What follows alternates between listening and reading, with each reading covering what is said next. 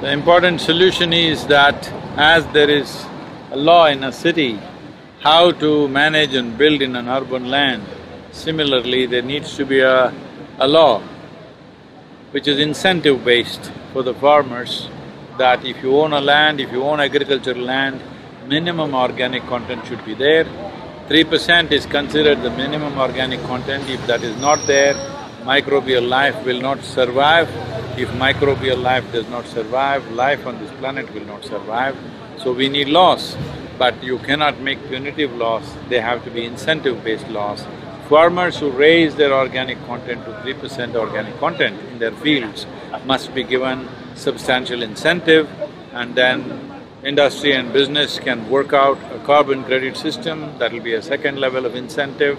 The third level of incentive will be if food is raised in rich organic content soils, that will find a higher level of marketplace, that will create better nutrients for the people and better health and preventive health for the people and many other benefits for the country in terms of healthy and happy people who will become more creative and productive.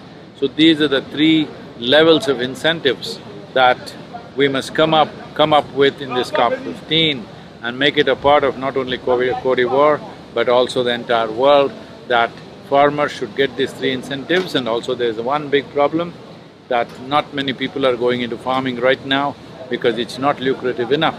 It's important a farmer earns at least as much as a doctor, engineer and lawyer or whoever else so otherwise everybody will move into cities, nobody will live on the farms. It's very, very important that people should live on the land because land is the basis of our life.